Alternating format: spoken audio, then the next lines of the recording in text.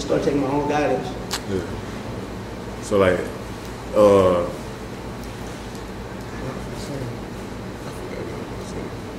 oh, so how, how like was you spoiled? Like was it hard? You It get out the mud with like It was like we was mid class living. I ain't from the Spencer. You like my mama, she was single. You know what I'm saying? My mama do hair. She was self employed. yeah, So it's like I went without sometimes, but I wasn't tripping because whatever I wanted in the long run, my mama would try to go get it for me. You know what I'm saying? And you know, if I if she didn't go get it, she'll taught me ways to hustle to go get it. yeah, Like, oh, if you want this, you gotta work for it. You ain't finna just, you know what I'm saying? Go work here, go do that, go do this. Like, go try to go cut somebody's grass, go try to wash somebody's car or something. But like, I wouldn't say spoiled because there's a lot of people I went to school with came with the French kicks every day, pulling up in the Royals whips, you know what I'm saying, doing it. And I'd be like, damn, I want to be one of them, you know what I'm saying? Like, but I can say, in a way, I was spoiled to where like my mama made me grateful. She did what she can. yeah, So like whatever she did for me, I was, you know, yeah. I was grateful. So did your daddy teach you like how to be a man or anything? Like I ain't have him coming up. Yeah. I admit my by the time I met my dad, I was already a man. Shit, cause I ain't gonna lie. If I wasn't man enough to talk to my dad and sit down and talk to him about the whole situation of us not being in each other's life, I'd still been a little boy, but that's when I knew I was man enough Yeah. So what's some things you learned in the streets on your own? how to survive. How to survive? so was it hard, like trying to survive? Yeah, it is really hard trying to survive because like like I said, when you got a dream you're trying to invest in, the funds you is getting, you gonna risk the funds on the shit you passionate about when you really should be handling the responsibilities, you know what I'm saying?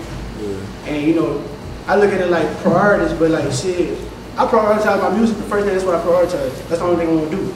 So there been some nights I done been broke as hell out here, trying to find out where I'm gonna sleep at that night.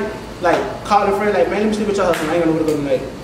Y'all got something to eat over there. You know what I'm saying? That type of shit. Like it, it taught me how to survive. at first, when I was staying with my mama, you know what I'm saying? When you got your mama, shit, you know, my mama only child, you know, she on nursery and take care of you, but when me and my mama had fell out, when I had dropped out of school, it was like a whole different ball game. I ain't never experienced this shit. This shit really turned me into a man. I ain't know how to do it, but I got through it though. So did you ever have a nine to five job? Yeah. Where you worked My at? first job was my first job was race racetrack. But my grandfather got a uh, a poster shop, and I go in there and work with him trying to make some extra money. So I be trying to do interior stuff too, cause that's his trade. I try to pick it up, but my attention span too short, man. I try to, you know, So you still work at uh, racetrack? No, that was in high school. Mm. But then I jumped after, after the high school shit. I, I jumped into the chemical plants. I was making that was a lot of money. I ain't never seen that much money on the paycheck. Like after coming out of high school, you know, the chemical job and shit like that. But I ain't gonna lie, people. That's like the peak of Baton Rouge. Like when you see niggas in Baton Rouge got money, you think about the plant or you think about dope. That's the only two things. Or rap. You see the ball players making out here, you know, they already chosen. So Yeah. I mean, that's the only thing I can say about that work shit. Like, it's either you want making it be uh, dope, rap, or the plant. Ain't nobody going to school out here like tomorrow. And if they do, they don't be, you know. Yeah. So what's your top five rappers in Louisiana? They ain't gotta be in order, just name them. Frank Da Goat number one. Yeah. Uh, no DRG. I don't call it DRG. Young boy, Yeah. Kevin Gates, Fredo. How many of those? Four. Yeah. Lil Wayne. Lil Wayne. Lil Wayne. I really don't put Lil Wayne in like them top, like in like I don't compare them to like Young Boy them because they two different rappers. You know But I'm talking like as I seen coming out of Louisiana. Yeah. Like that's really who really love like you know what I'm saying? That's who really when you hear Louisiana, you think about that. You think about Gates, Fredo, Young Boy. in my mind, Frank Da Goat the of course, but and Wayne, that shit, Wayne was like one of the hottest niggas back in the days. Yeah. Still is like that nigga go to you know, goat double. So I think about it like that. Cause you don't get like I said, every other year you get a rapper. So out them top five rappers you just named, who you relate, like you know what I'm saying, like who you relate to the most? Shit. I say probably young boy because we're in the same like Yeah. era. Like the same age era, the same time period and shit like that. As far as that street shit he be having going on, I don't really too much know about that, but like mentally, you know what I'm saying, I be feeling that shit real tough. Yeah. Yeah. So what's the scariest thing you ever you seen or witnessed in the streets? I ain't gonna lie. It's a lot of shit. I mean, as far as being caught up with all my gun and bullets flying, well, ain't, ain't shit, ain't really had shit to do with me, but like, I just feel, I don't feel safe with my gun to be on. So anything that take place, there's too much going on, I don't really have too much mind of what's going on, knowledge of it. I don't be scared, but my nerves be bad. Yeah. I done seen some fucked up shit though, but I don't want to talk about that. So what's your five top? Uh, what's your top five top goals in life right now? Like, Um, to make sure my little boy that's on the way straight, one before I leave this earth, make sure my mama straight, to make sure my whole family straight. That's what three. yeah, that's true. Um, we get rich as hell, not even rich, wealthy, Yeah. and like shit, be, you know, be considered one of the goats that come out of Louisiana. Yeah. To be honest, ain't really too much I want out of this. Take care of the ones I love, have a lot of money, do what I want. Uh, do you plan on starting a record label? If I get big enough, yeah, because I run across a lot of artists in Louisiana that got talent, but I don't be having the money myself, or I ain't in the dough myself to put them on. Yeah. So when I get to that, you know, to that level to where I got bread and I can sign people, I'm most definitely gonna do that. So do you got any uh like features with any rappers around here? Uh, I ain't really too much tapping to the features, but I got a feature with Khalil Vegas. Yeah, Vegas. Yeah, he hard. I, he, has a, he creative. All right. So uh, did you uh, plan on being a YouTuber? You ever thought about that?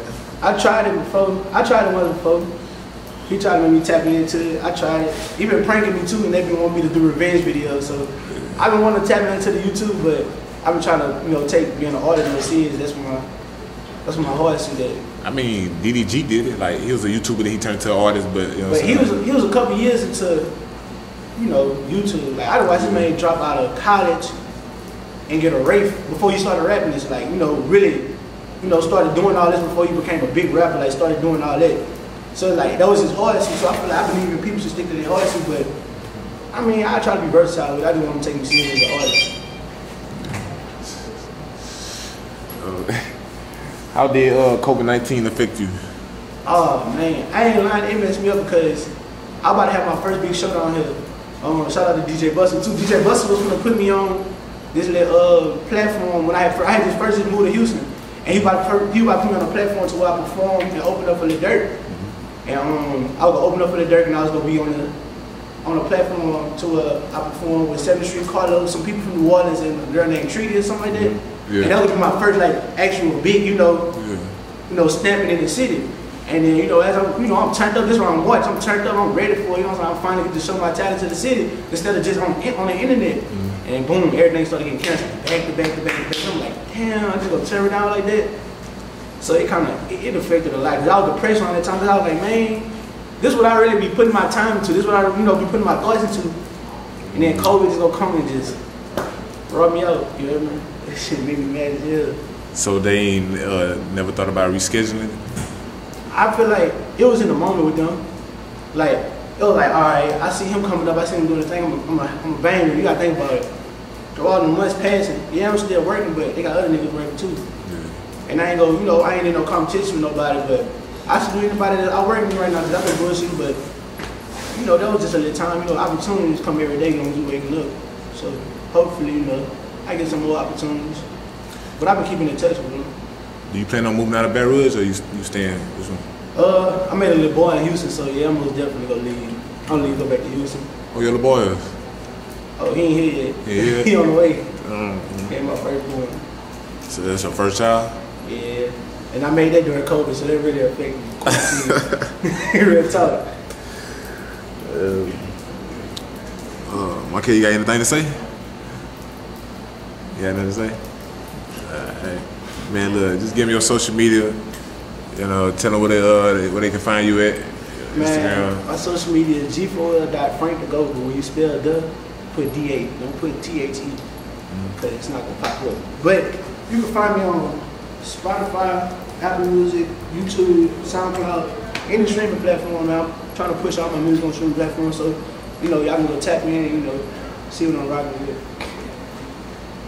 Yeah.